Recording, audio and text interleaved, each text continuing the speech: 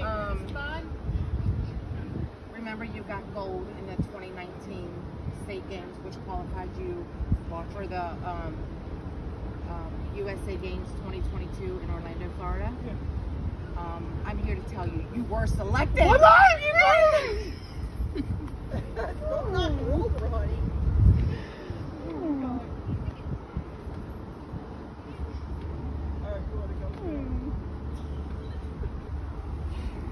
Are you happy about that? Mm-hmm.